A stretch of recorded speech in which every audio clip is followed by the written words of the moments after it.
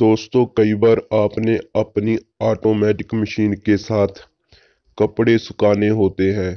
आपको पता नहीं चलता कि कपड़े सुखाए कैसे जाते हैं, क्योंकि धोने के बाद तो अपने आप कपड़े सूख जाते हैं।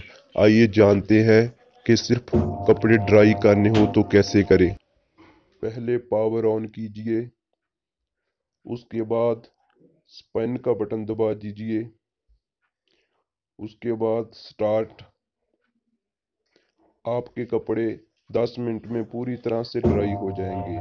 हर एक ऑटोमेटिक मशीन में यही सिस्टम होता है। पहले स्पिन और स्टार्ट